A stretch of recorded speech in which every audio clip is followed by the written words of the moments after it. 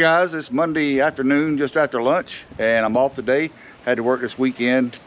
Unfortunately, I'm one of those kind of, you know, was born good looking instead of rich, so I got to work for a living. Thought I'd do a little quick video of my bike and things I've done to it since I purchased it. Um, I did buy it used from a friend of mine. It's a 2016 Electra Glide. It was a police bike. Uh, I think it was in service down in Tampa, Florida. But uh, I really enjoy it.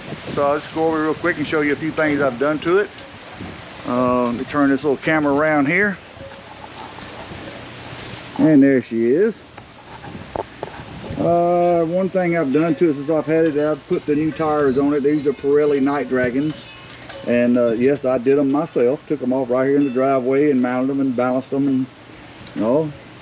Um, also put the bars on there. These are 12 inch uh, meat hooks. I didn't go any higher than that because uh, well, I thought these would be more comfortable, and they are.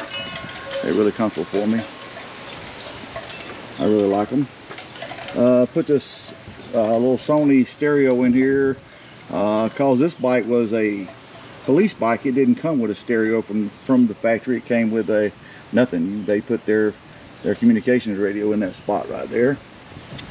Uh, also, I have changed the seat out and put this Mustang seat in here and uh, yes I do really like it. I do several long distance rides you know five and a half six hour rides on occasion and it's very comfortable.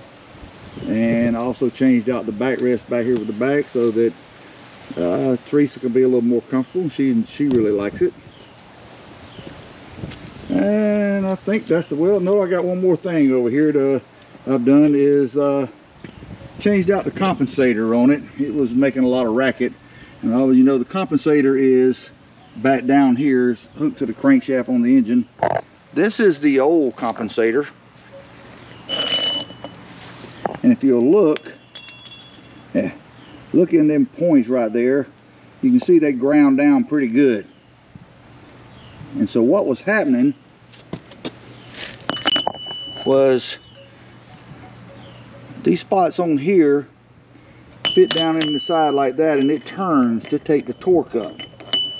And so as they were going through them grooves and cutouts in there right there, it was making a god-awful sound. I mean, it was really bad when you when you crank it. Now it run it just running down the road, it, it was okay, but it was cranking. So I changed it out, and this is the box that the one came in. It's from Man of War Motor Sprockets, Dark Horse Customs. Um, I'm going to go ahead and put some pictures on on here to show you the day that I changed it out. I didn't do a video when I changed it out, but I do have some still photographs, and you're going to see them here in just a second.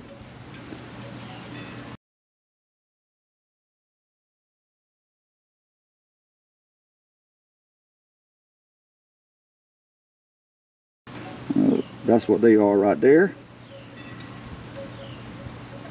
All right so that's just a couple of things I've done uh, to the bike. Um, it came with the little razor pack on the back already. Came with the Vance and Hines slip-ons on there. They're very they're very good good pipes sound real good. And I put the little emblems on the fuel tank as well so. All right so that's pretty much it. I just uh, just gonna take a few minutes to show you my bike and show you what I've done to it. And you know, I do everything myself. I don't take it to the Harley dealer and I don't employ anyone else to do the work. I just, I go out here and I do it. I enjoy doing it. Uh, the compensator probably took about, from start to finish, probably about four hours. You do require a uh, couple different special tools that I didn't have. I had to go get. One was a, uh, a socket to fit the uh, axle nut, the nut not the axle nut, but the nut on the transmission for the clutch basket. Um, but overall, it went pretty well.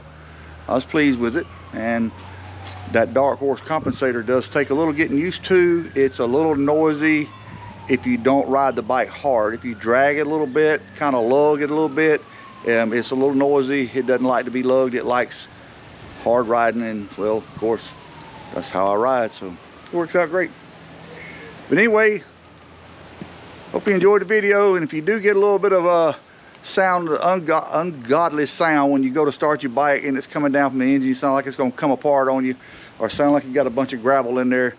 Um, you may want to consider the um, compensator. Could be the issue. So, you guys hang tight.